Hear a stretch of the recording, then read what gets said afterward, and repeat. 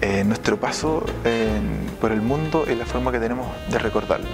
Es un proceso cada vez de hacernos cada vez más humanos respecto a nuestras limitaciones y de nuestras potencialidades y, de las cosas que aún nos falta por hacer, las conquistas que todavía podemos llevar a cabo.